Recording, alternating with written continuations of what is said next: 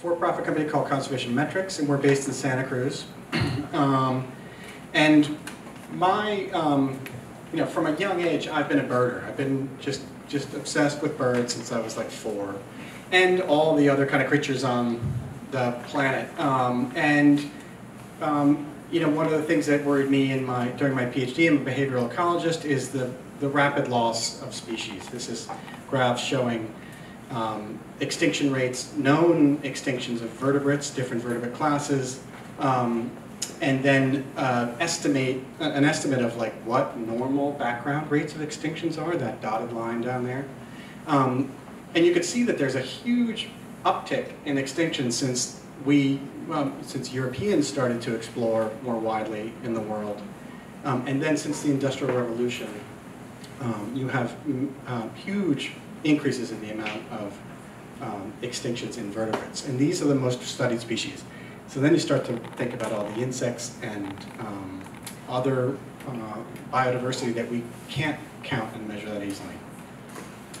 And so, you know, what's driving our work is there's limited amounts of money in conservation. Where should we be spending it? Um, what problems um, should we be trying to tackle? What methods should we be funding? What methods are effective? Um, and how can we improve each one of these? Because all of our conservation tools can be improved. And um, we're really focused on evidence-based uh, approaches to conservation.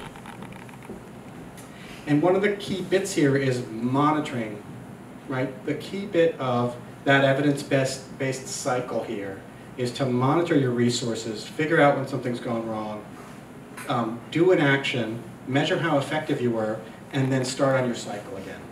And so monitoring is a key part at several um, parts of this, of this adaptive management cycle.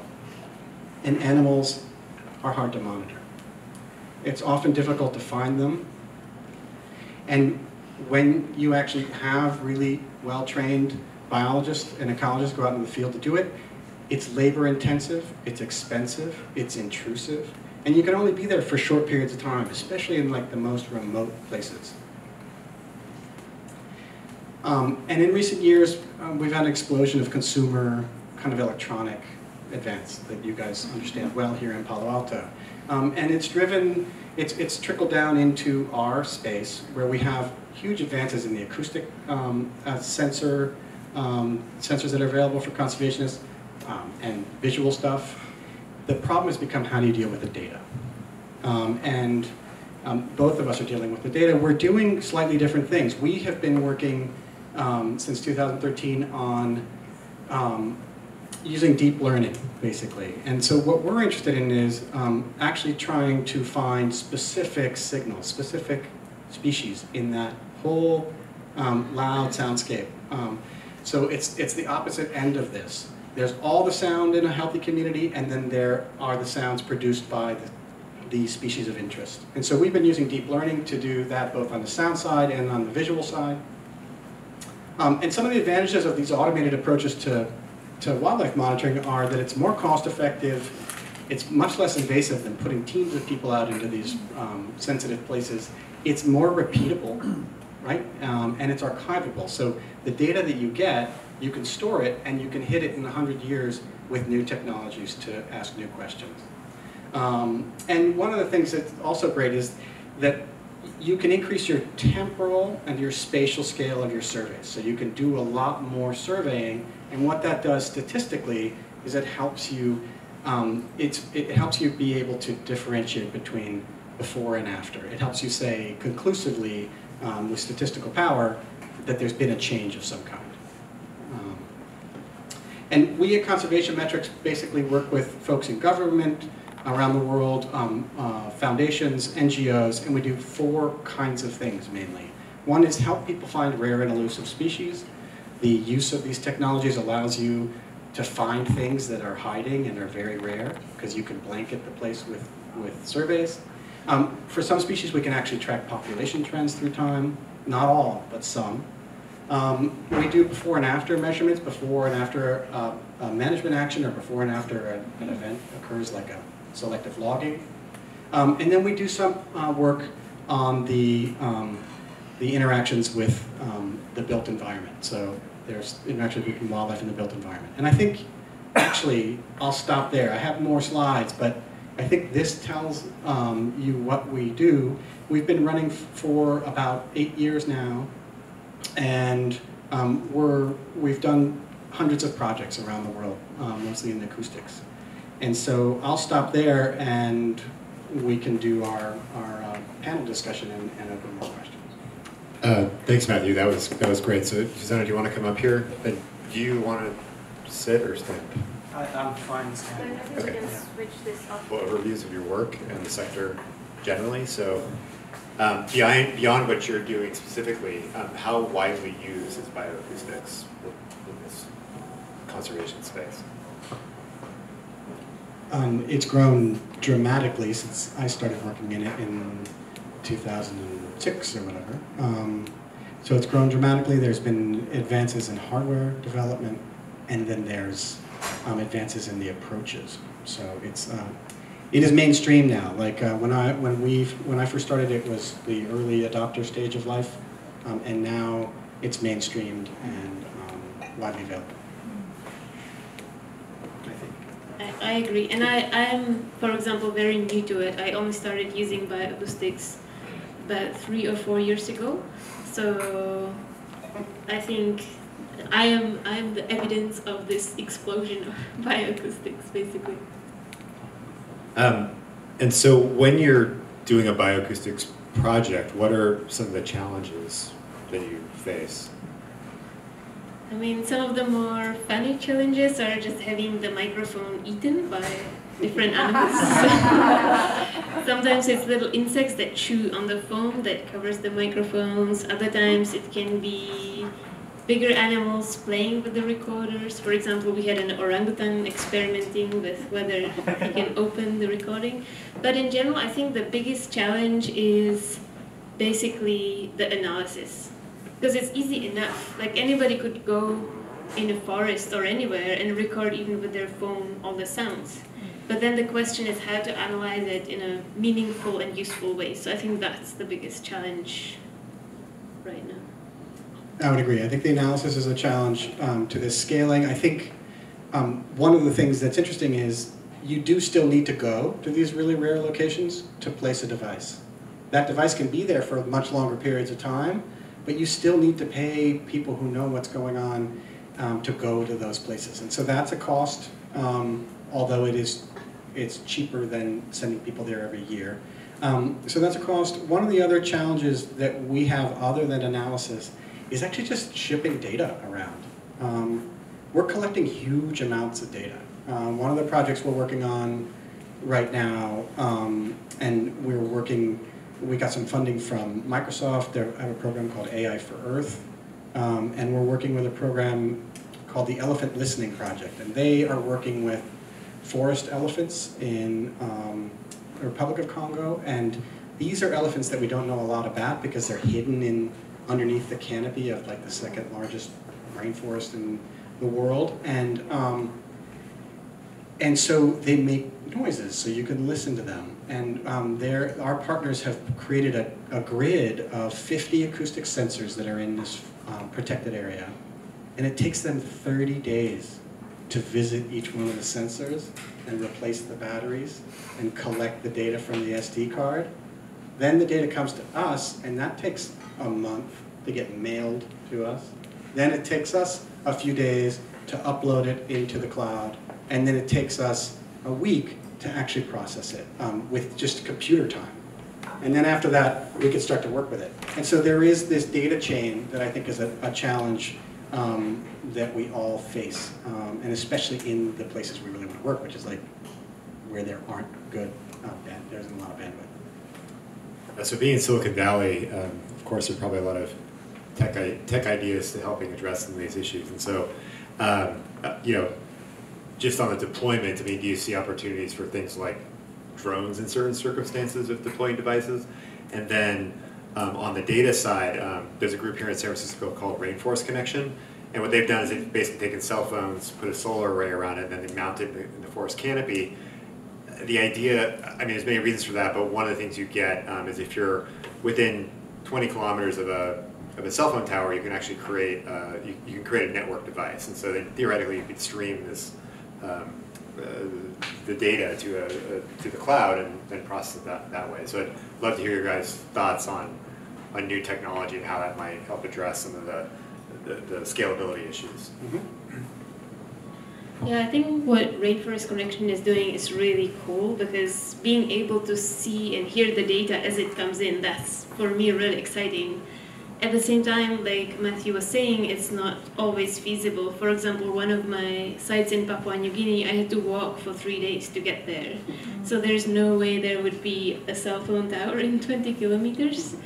Um, but I think deploying with the drones, I'm not sure if that will be easy. But picking up the data with drones is something that I th- think might be really interesting.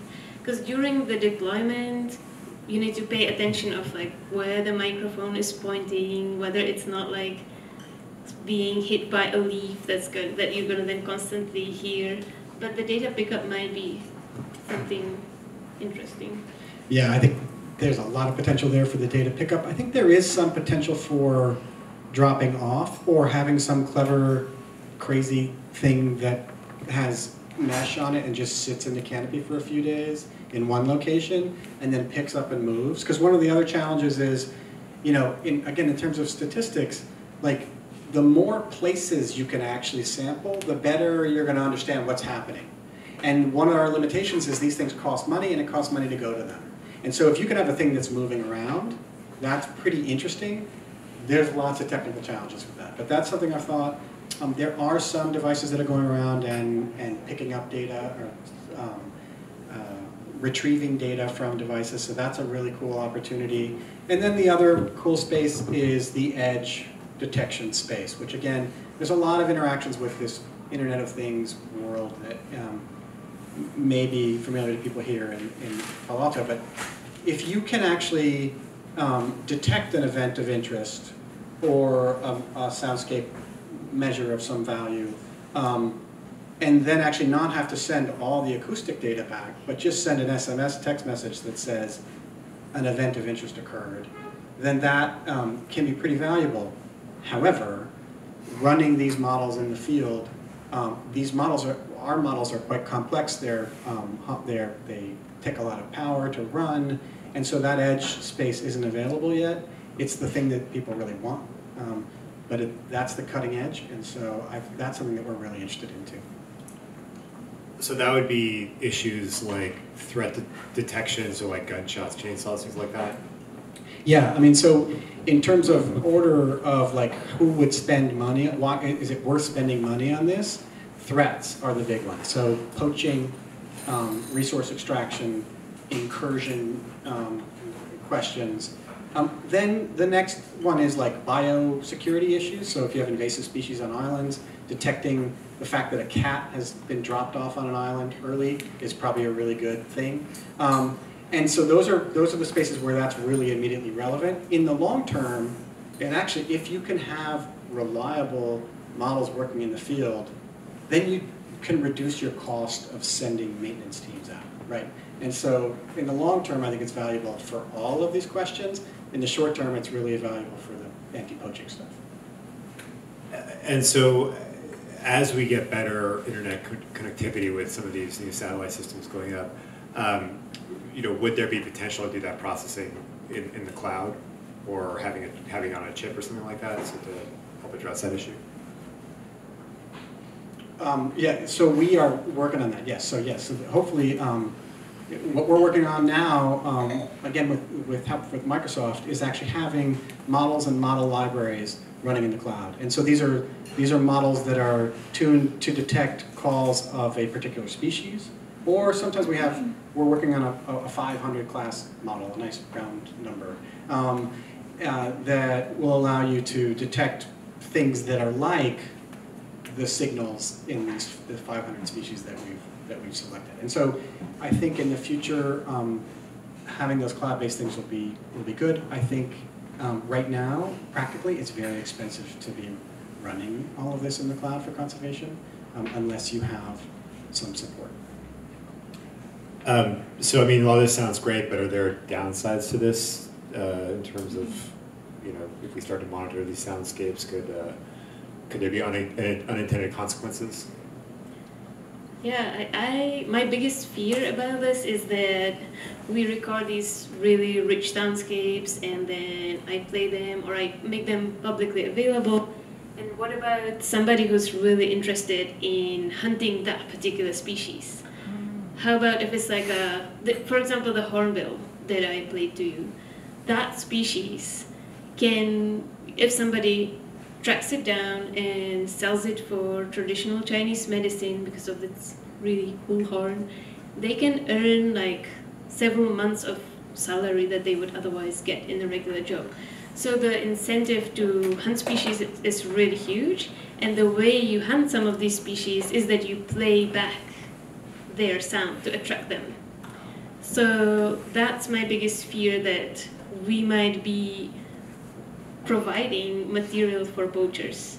And so I think it's important to think of these risks in advance and basically where there are these kind of sensitive species, not give specific locations, like specific coordinates, kind of maybe just give a generic uh, um, area so that people can be like, okay, here there was a hornbill yesterday, I'm gonna go rush and try to, to hunt it because these species are like going extinct because of hunting. Yeah, um, I, I, agree on that. The security side of it is really important, and um, I know that um, that people have hacked into databases for con of conservationists to find rhinoceros and to find other species. So that's a really big issue. Um, I think another one is um, it's really exciting to be using these new technologies. Um, and again, it's really easy to invest a whole bunch of money in this thing that seems to be the promise of the future.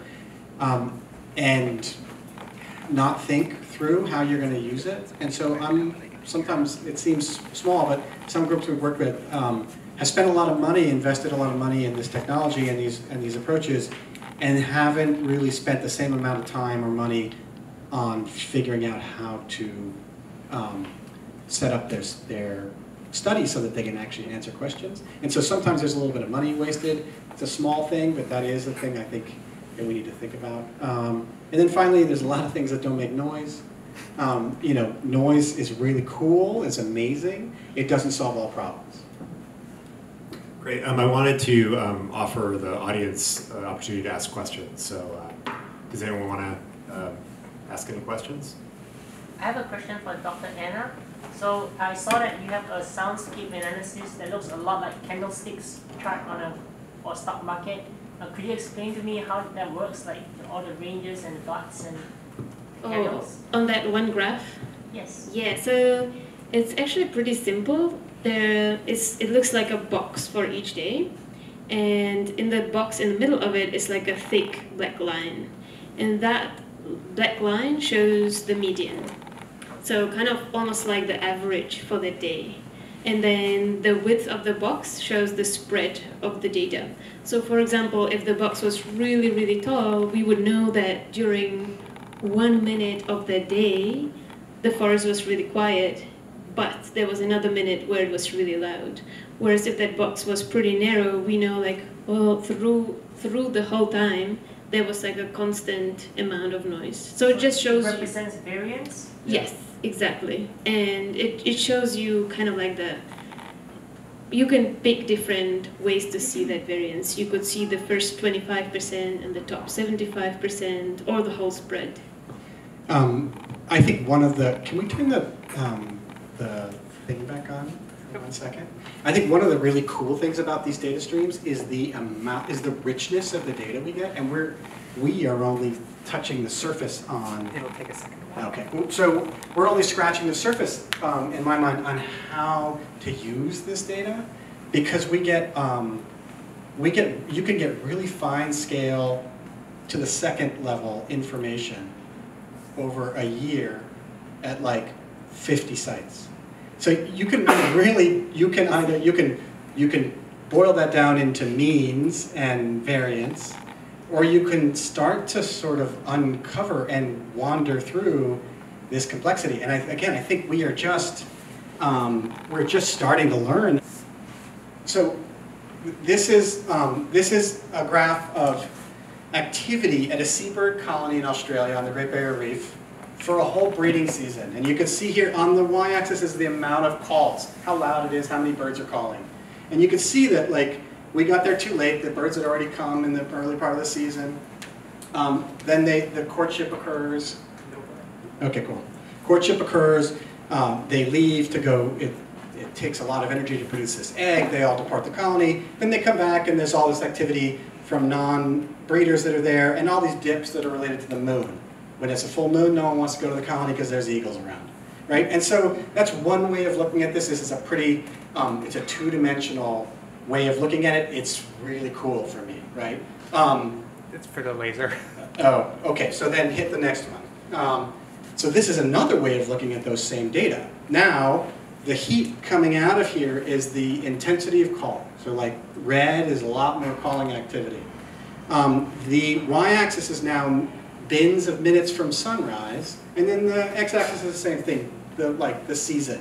And what you can see there is that blob that's courtship, and then they leave the colony, and then they come back. And all this activity is occurring right as dawn is occurring. The first light is occurring, and that's causing all of these seabirds to start calling. And there's this huge intensity, but they're calling throughout the night.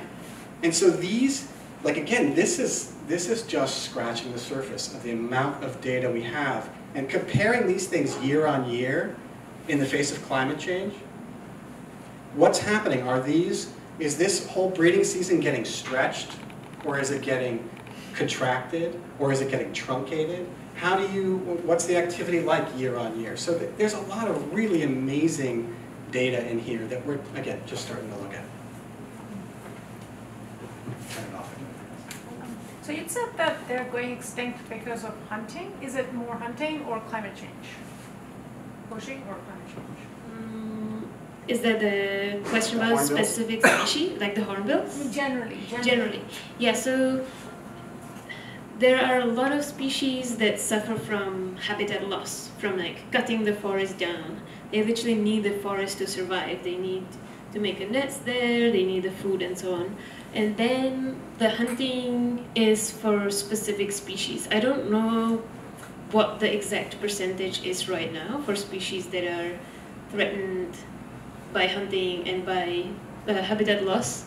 But basically, especially in Southeast Asia, where I've been working, a lot of birds are targeted for hunting, either for their body parts, like these hornbills for the for the horn, or even as pets. So people keep a lot of birds in cages at home, and they even subscribe them to singing competitions. They really appreciate the sound of the birds, but then, you know, they capture them from wild and then keep them. So it's basically both. And the problem is that as we're losing the habitat and we're taking animals out of the habitat, and then whatever is left is changing because of climate change, it's like a triple threat that that's Right. really really hard to control. And, and, and you, Matthew, you work on islands, so it's even a different issue. Yeah, I mean, it's the same thing. So I work on islands a lot, um, and so um, we have a lot of invasive species on islands. So that's something that, it's like these species, these communities have evolved in the absence of um, vertebrate predators, mostly, mammalian predators. And in our exploration phase, um, we started to leave a lot of rats, cats, goats, pigs, um, et cetera, on islands. And these things have devastated um, uh, insular communities as well as insects and diseases. But that's another big threat is um, invasive species, both on continents, but it's more easily seen on islands. But then again, I think I really, I think there's no, it's, it's not useful to think of the one main cause. I think that the triple threat or the quintuple threat is really a big issue. And what we've done is we've created islands of habitat where there used to be continents of habitat. And now you're stuck on this island, and when climate change occurs, you can't move because there's no other habitat available within your, your ability to move. And so that, I think, is the long-term threat from climate change, among others, but that's one big one. Um, with, in, in terms of an ability to potentially inform policy, um, is, and you said you have a for-profit, Mm-hmm. um, uh, just curious if that impacts your ability to inform policy and also what the steps would be in terms of going from the research, the data, to being able to have an impact that way. Um, So I would say that I don't think having a for-profit is affecting that ability. That's our goal. Um, You know, and so we did it on purpose, like trying to be a for-profit in the conservation space. It was like very conscious, like, can we make this happen? Um, And our whole point is to inform policy. So our whole point is to take information, so, so take data and turn it into information for policymakers to take action.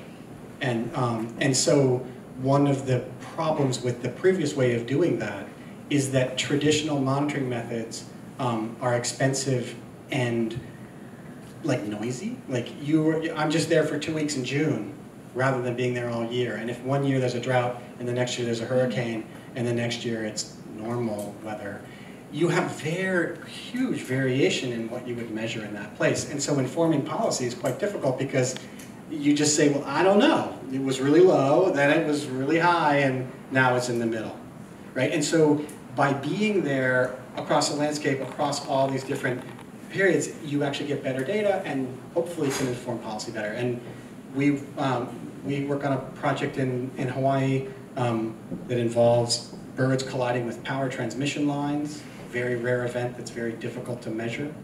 Um, we can hear that sound. We now have transformed our understanding of how many collisions occur.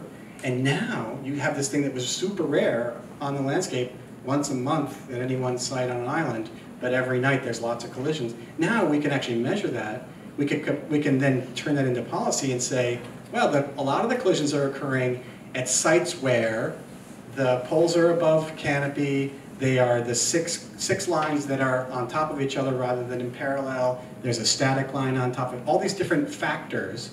And so we've already um, been working with the utility to get rid of some power um, transmission lines and to transform different transmission lines to reduce collision risk. And so that's a project where we've done that cycle um, for an endangered, for two endangered species. So.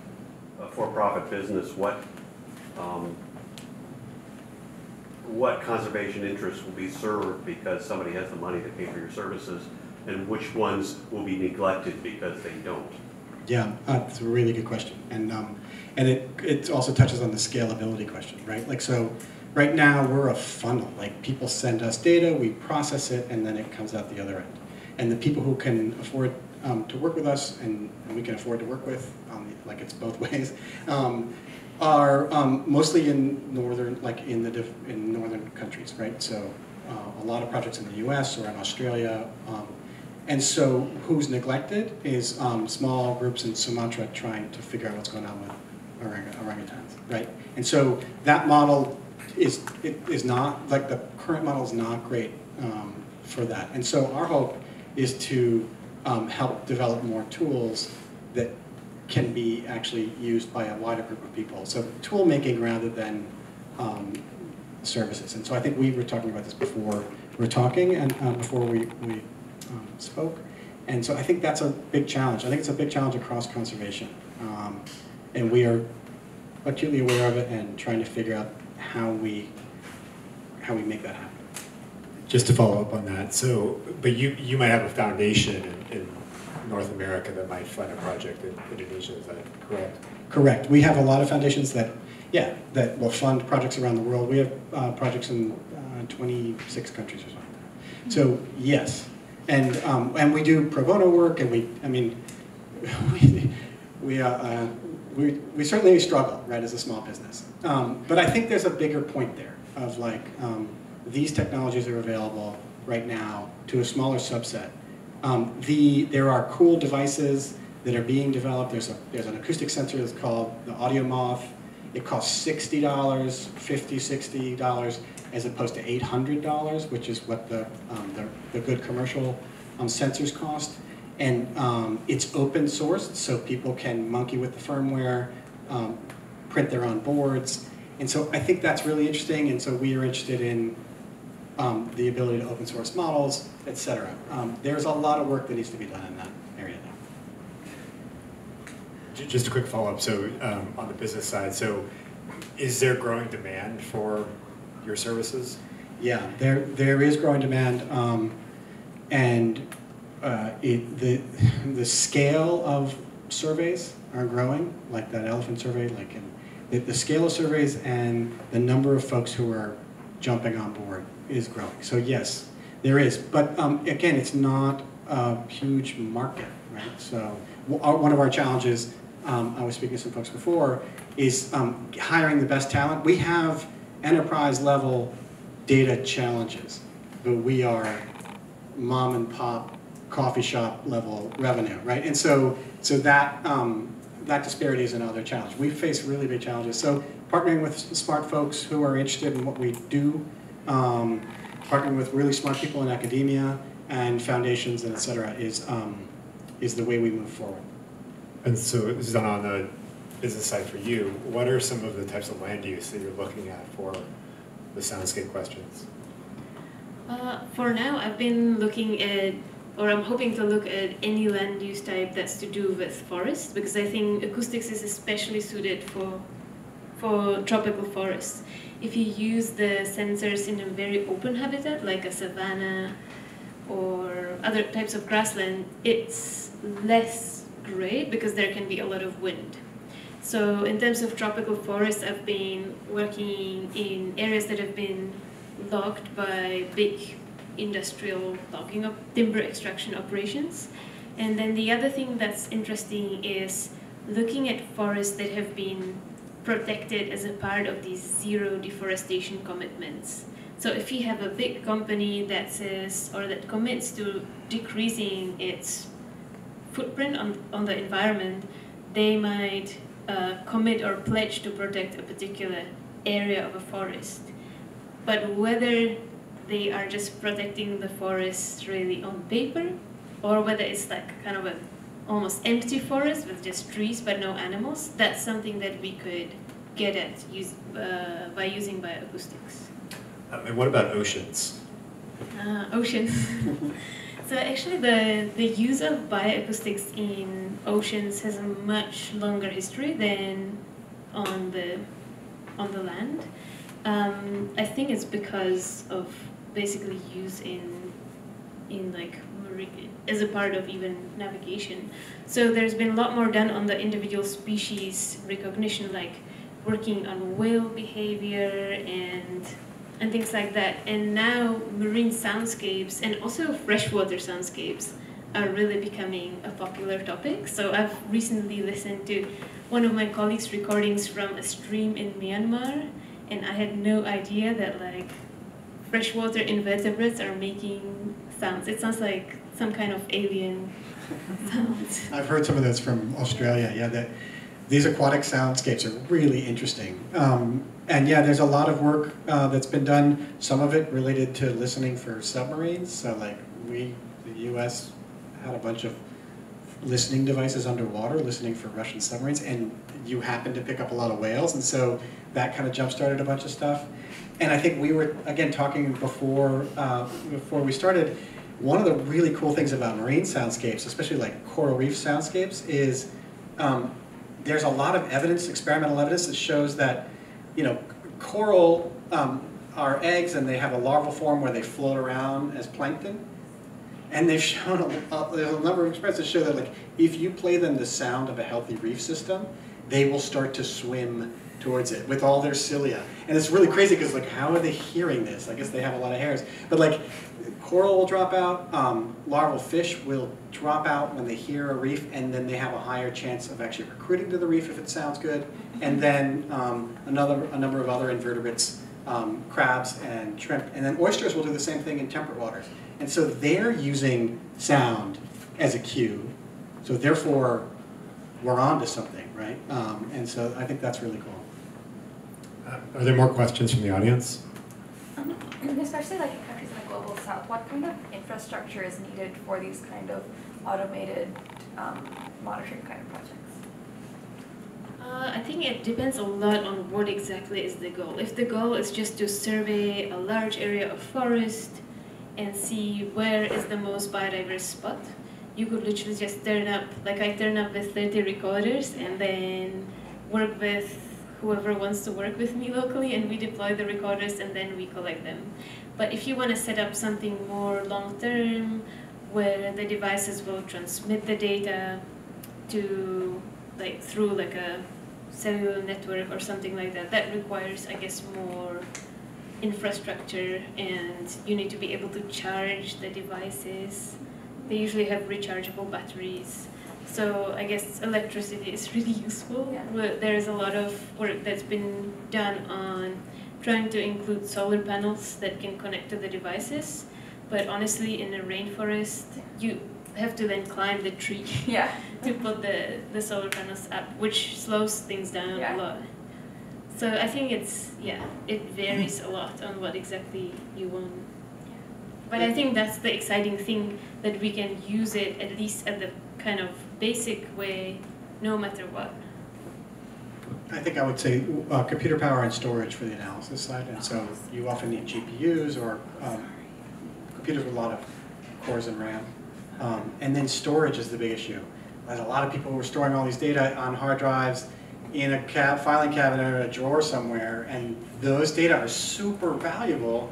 And how do we figure out how we can work together to collect those data in some organized fashion from across the world so that we can use them in perpetuity and learn new things from them?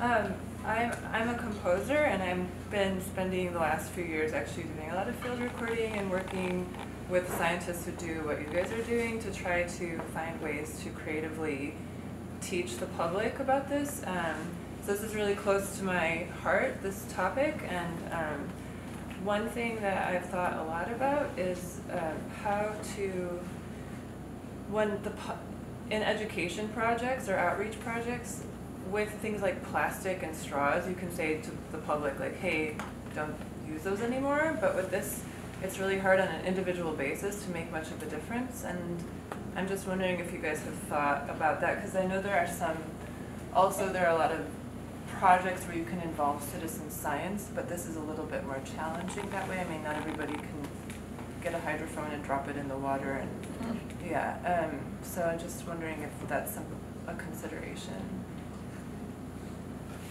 For me, it definitely is, and that's one of the things that I find really cool about soundscapes. That it's really easy to explain to people look, this is a forest that doesn't have any sounds, and people like hearing animals.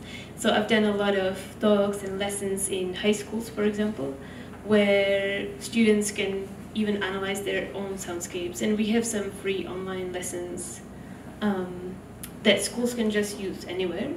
And with the citizen science, I think I'll let you talk about that more because I. But there are there are already people who are doing that. Yeah, um, so I think there is this intuitiveness to it, like we could hear that difference. So it's just the how you get that how you get that to people, like what's the medium you use. But I think it's actually this thing that's actually hardwired in us. So I think that's pretty cool and a and a thing we should figure out better how to use. Um, in terms of citizen science, like one, I think a really good example. Well, there's several, but one really good example is in in the UK. Um, you can sign up to monitor bats, um, and they will send you like an acoustic recording device, instructions on how to do it, um, and all this stuff, and then you put it out in your neighborhood, and then there's ways to get the data back to the central place, and then they're really good at distributing what happened, like what the results were. And so there's a lot of people who are not bat biologists who are doing really cool work.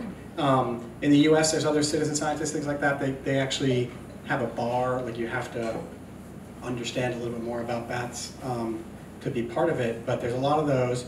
I think the other side is um, on um, helping to process these data, and there are a number of um, websites out there where people can upload their projects and have camera trap images or sounds, or what we use are called spectrograms, which is like a graph of a sound.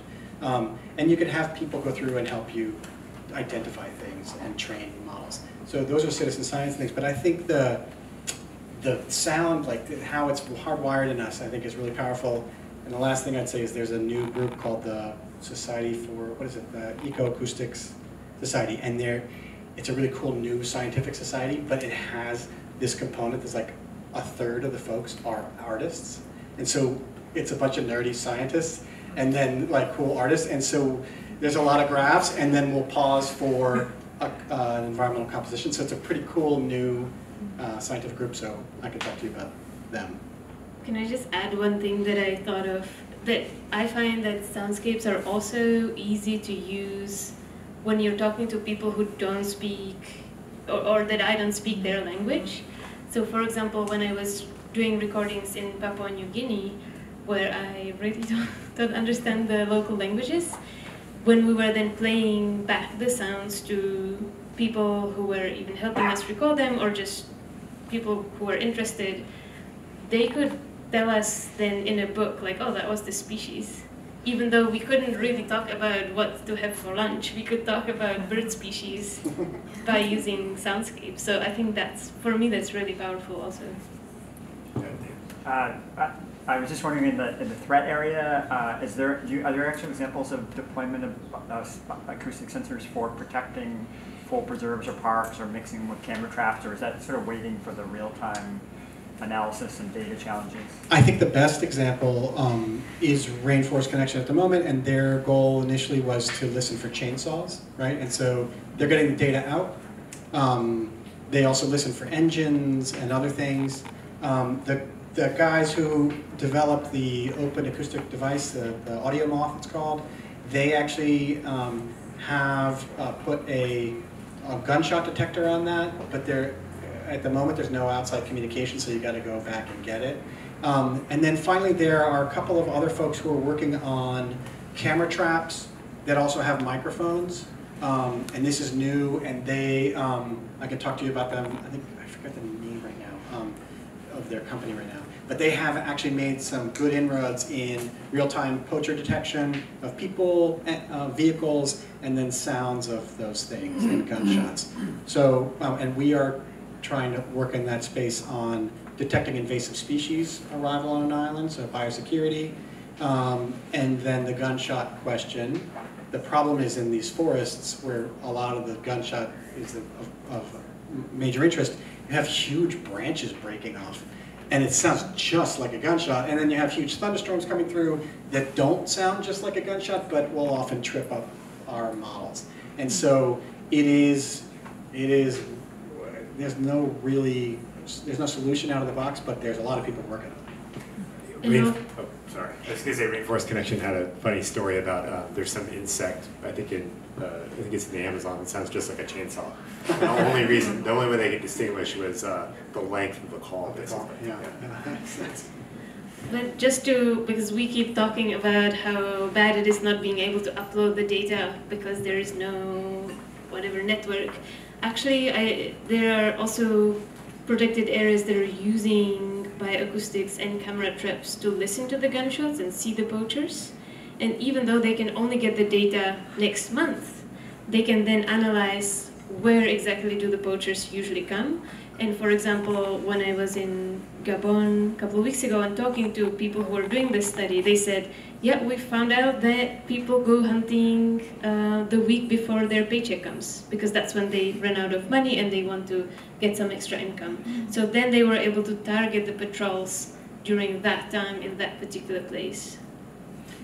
Yeah, we're, I totally agree. There is value in understanding what happened a little while ago, because there's, humans are habit, we, we have a lot of habits, right? And so it's, it's in terms of designing, figuring out where your security is. So yeah, totally, that's um, exactly right. And the Forest Elephant Project, we detect gunshots, but it's gunshots that occurred three months ago.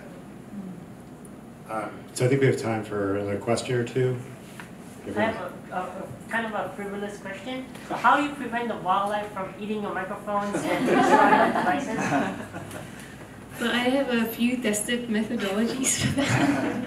Number one is don't touch the microphone with sweaty hands. Uh, because the, most of the animals that like to eat the foam, they are somehow attracted to the smell of sweat. Um, and then we've been experimenting with like little cages around the microphone, but that hasn't exactly worked yet. Yeah, we, um, I've lost a lot of devices and microphones to crazy creatures. Um, right off here, off of San Francisco, where the island's called this, um, the Farallon Islands, Um, and so we, I'm listening and working with a bunch of folks out there, uh, looking at these things called ashy storm petrels. There's these really cool, small nocturnal birds that, that nest underground. And the Farallones is full of gulls, and the gulls just love to eat the mics, nest on top of our song, on top of the acoustic sensors. Um, we've also worked on an island called Palmyra in, in sort of the Line Islands in the Central Pacific. And there, there are these really amazing basketball-sized, like hermit crabs, but they don't have, there's no shell big enough for them, so they've just gone without the shell. And these huge things, and they just come up and just tear into our devices. So we've tried all manner of cages and putting them up high, and it, these coconut crabs can get to anything. So um, grizzly bears um, will often come up, if you put it in a cage, they'll just come up and scratch their back on your, on your device. So there's a lot of uh, challenges. Um, and the forest elephants, um, they're putting their uh, sensors uh, at the height that a forest elephant can't stand on its back legs and grab something. So that's like the exact height that they're putting their sensors at. Uh, great. So I think I'll just ask one more question, and then I'll give folks a few minutes to talk with people one on one. But um, uh, just in terms of you know where we're headed, where where do you see this sector being in say five to ten years? Maybe um, you know realistically, and then sort of your dream scenario. Um, so I think um, this is growing really rapidly, and, it, and we are going to be able to uh, monitor things at continental scales. And so I think that's both going to be on the soundscape side of things, and then also on the species side of things. And so what I imagine um, is things like the weather forecast, um, or you've seen these maps, I think maybe of like spring leafing out in North America and from satellite images, and you can just see this green belt moving north um, as spring arrives. It's amazing. And just imagine if you had the soundscape with that. And so I think we're going to be able to do that. I think people's devices around their homes are going to be, um, people are going to give channel access to say, hey, okay, you can monitor the environment outside my house. I have my security system. Why don't you also do your monitoring that you want to do of the environment? And we're going to be able to get those feeds. Um, and so I think it's, it's going to be a common, normal part of our um, everyday life.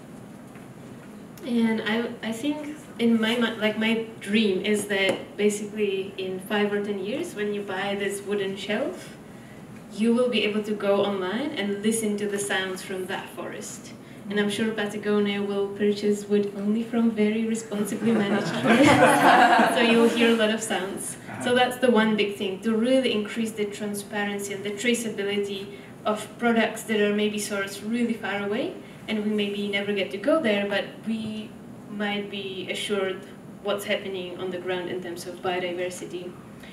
The other thing that's also my, my second dream is I think is about like the last chance we get to understand what are kind of like undisturbed biodiversity baselines in the most remote, the least disturbed areas. Because really time is running out and everything is changing so fast. And I think now we could use soundscapes to get an understanding of what the world in these remote rainforests is in, let's say, 2020. And that might be our last kind of way to to maybe even pass to the future generations this is what it was like these were the species we had because we don't have time to go and describe the, all of the species even so that's my two dreams Great. Well, I want to uh, thank our speakers and also Patagonia for hosting us. And Patagonia is also going to do uh, the results of the raffle. So just want to thank everyone.